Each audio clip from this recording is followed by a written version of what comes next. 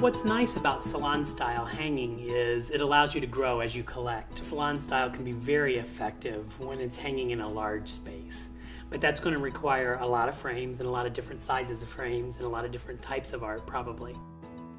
I wanted the art intentionally to feel uh, collected. It wasn't so much that it needed to be um, congruous individually, but as a grouping, it all came together. Your ultimate goal when you're grouping is to create a cohesiveness so it all hangs together. Now, I think there's a lot of ways to achieve that. I think you can achieve that by having kind of similar finishes on all the frames, and so you get a visual picture that looks very similar. Or you can achieve that by similar color mats or color of artwork, but you need something that's cohesive in the framing. Putting a collection of art together that is dissimilar in style um, or period or um, even art medium can work really well provided that there is a singular color story that kind of pulls everything together. It's like one big work of art as well as individual works of art.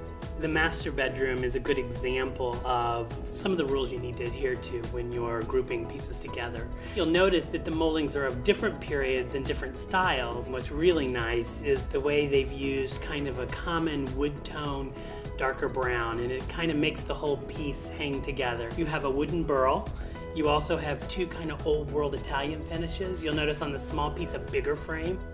Generally, when people are doing groupings, they're sometimes hesitant to put that prized piece or that little precious piece in a wall grouping because they're afraid it'll get lost. But I think if you really do what they've done here with that small portrait and put a frame on it that's prominent, it can be really exciting in there because it kind of draws people up closer to look at that little precious piece. The frame that's on this small portrait is really a traditional frame. You'll notice it's higher at the back edges and your eye kind of comes in.